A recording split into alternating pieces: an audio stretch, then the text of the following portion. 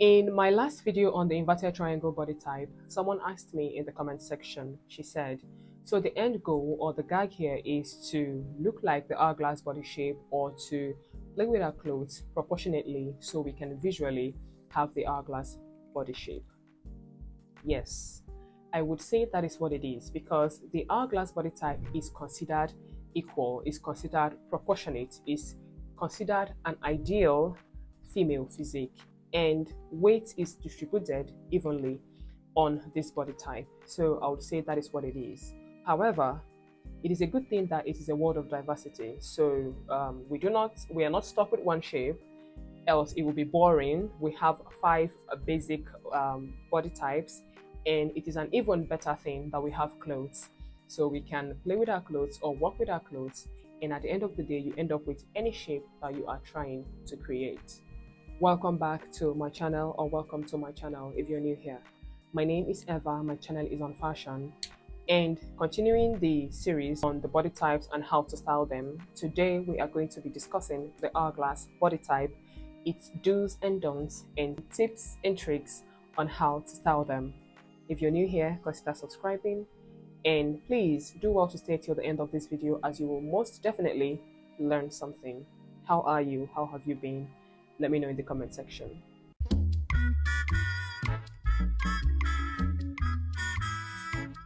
Starting off with the characteristics of this body type, like I have said earlier, it is a proportionate body type and the goal here is to not lose the proportionality of this body. And the characteristics are equal bust and hip measurements or they are very close or they are equal even and a very narrow waistline. Anything that you are putting on on this body should follow that shape. You shouldn't lose the shape inside of your clothes or um, drown the shape in your clothes. The goal here is to follow the natural silhouette of this body and dress it proportionately top and bottom and also ensure not to make any part of it heavier, the top heavy or the bottom heavy by adding too much fabric or too much accessories or whatever and not replicating the same thing in the bottom half or in the top half.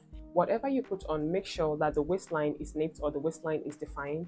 And if you are adding fabric to the top, make sure to add it to the bottom. Let us move on and talk about the sleeves, the dresses, the pants. We will also be looking at celebrities with this body type, uh, Christina Hendricks and Serwaa Amihere. For the necklines that are very flattering for this body type, I am going to start off with the V-neck.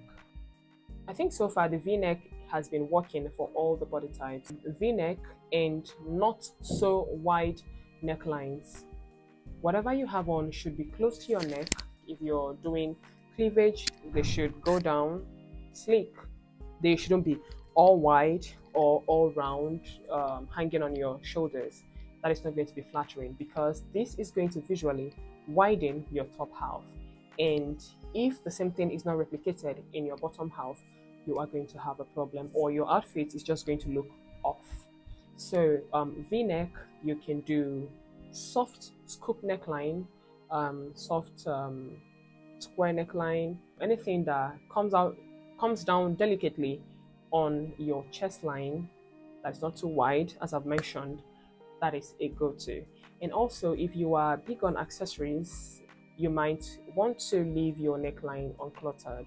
Um, you can do dainty jewelry, dainty necklaces, something soft and very feminine. You wouldn't want to empower or overshadow your neck with accessories. Still on necklines, let us look at these two pictures of Christina Hendricks it's still the same bust, right? But different necklines. You'll find that the one with a wider neckline, her bust looks bigger than they are. And the one with a with a more fitted neckline, her bust looks more portable or more compact. And um, you will see the difference that necklines make. So if you can keep your necklines tailored to your neck, nothing crazy, you will find that you are going to look your best. Necklines that you would want to avoid should be turtlenecks, halter necklines, because these necklines, they are not exactly flattering because for some reason, they are going to make your bust twice the size. Yeah, they will appear twice the size because it is interpreting everything as one. If you are covered from the neck up to your waistline, everything is going to be interpreted as one. There is nothing cutting off the visual. Your busts are going to appear way bigger than they are. Let us look at this picture of Christina Hendricks where she has on a turtleneck top and a v-neck top. And you'll find that for some reason, the turtleneck, even though it is in black, and black is a slimming color, it is her bust is bigger or appears bigger than here where she has on a V neckline.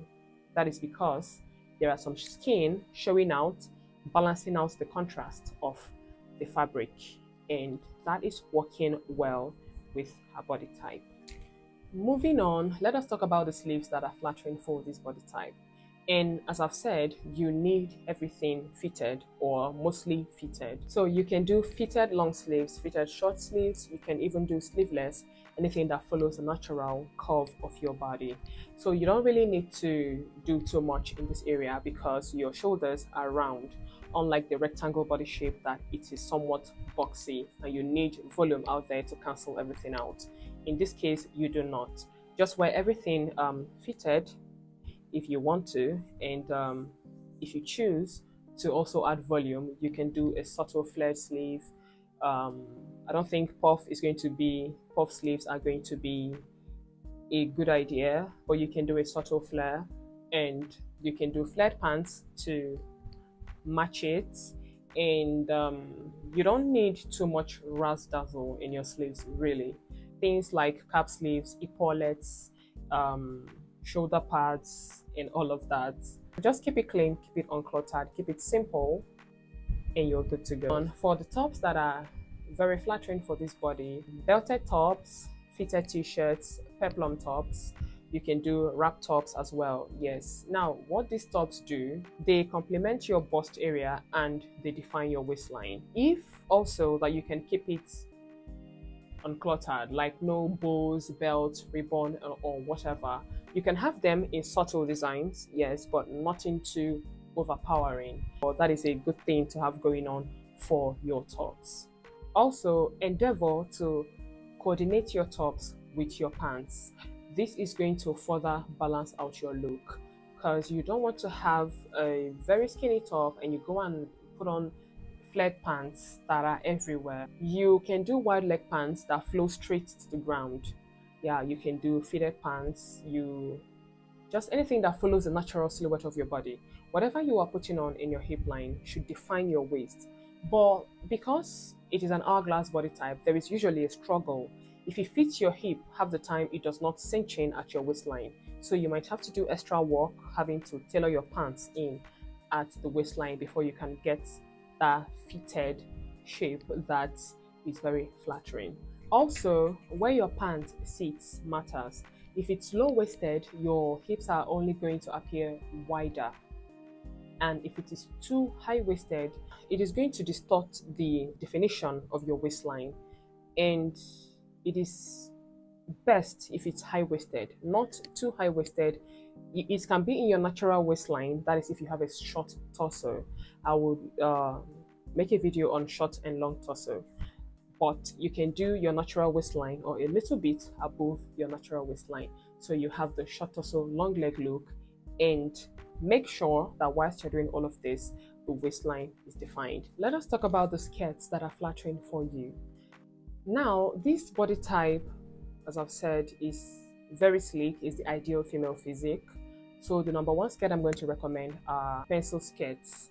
Pencil skirts are beautiful as they are just going to further you know, just follow your body symmetry. There is no ras dazzle, nothing. Sleek, clean lines. Someone like Serwaa Amihere, she wears fitted pencil skirts all the time and she looks dashing in all of them. Pencil skirts are the first on the list. Next, you can do A-line skirts. You can also do bias skirts. Oh, bias skirts are so beautiful. The soft flowiness that flows against your legs and your hips are defined of course your waist is cinched this is an a-class look Voluminous skirts, like skirts with full circle or double full circle, they are not exactly flattering because they are going to make your hips look very big and your waists are going to look very small compared to your hips. They are usually not my first choice, but uh, you can do those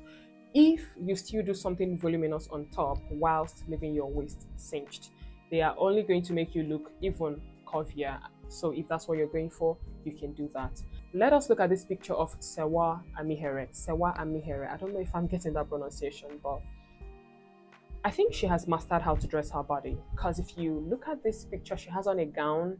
There is extra fabric. Uh, yeah, that is a chiffon material. So it's very flowy. There is so much going on at the top, so much fabric at the bottom. But you find that the waist has a different detailing and a cutout design and it is cinched to her body that is way to go. That is what we're trying to create in every of the body types that we have discussed. So if you've not seen those, you need to see those so you can further understand and appreciate what I'm talking about. Moving on to dresses that we need or that the hourglass body type needs, belted dresses. If it's flared, you can belt it. Also, even if it's fitted, sometimes just add a minimalist belt just for extra definition.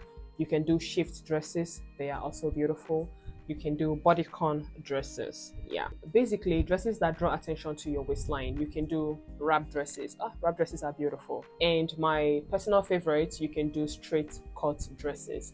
This is Serwaa's go-to straight cut dresses and she always keeps it clean. Whatever she has at the bottom, she has it at the top. Let us look at these two pictures. You can see what I'm talking about. Serwaa understands her body or her stylist understands her body and they know how to dress it. So you can do these option of dresses and also you can try others and see what you find. Also, make sure the waistline is defined at the actual waistline or a little bit high-waisted because if they are too high under your bust, that does not do anything for you. You would end up with an inverted triangle um, body type. Let us look at this picture of Christina Hendricks. She has on this gown v-neck beautiful sleeveless wonderful but the waist definition or the ribbon that she attached they are under her bust you can see that the waist is just going straight the look is wanting as i have said if you want to appear more curvaceous you can add lots of fabric to your top and to your bottom half and you can also work with embellishments uh, details in your outfits and all of that razzle dazzle stuff but if you want to downplay your curves, you can do um, vertical lines and you can do dark colors. As I have said, your shape is already proportionate. You really don't have much work. Just follow the symmetry of your natural body and you are good to go. In the beginning of this video, I said that it is a world of diversity. And indeed it is because imagine all of us had the hourglass body type it is going to be boring. That is why it is even more beautiful that there are other um, body types and it is a very beautiful thing that we have clothes and that we have learned how to style our clothes to get any um, body shape that we are going for. If you want to further understand what I'm talking about, look at Avant-Garde. She doesn't care for the um, natural human body. She just invents her own shape and she goes on her merry way. And she is correct because personally, sometimes I do not care. I just wear whatever I want. Sometimes I walk with my body type. Sometimes I do an all baggy look. Sometimes I do fitted baggy and baggy fitted and whatever my mood pleases, really. So, what I'm trying to say is you can experiment with your clothes, try things out, and see what you find. And if you're confused as to how to even start, you can leave your questions in the comment section and I'll be sure to engage with you. Thank you so much for watching. If you got value, please give me a thumbs up consider subscribing if you like fashion content or if you just like to see me again. Thank you so much for stopping by and watching up until this point.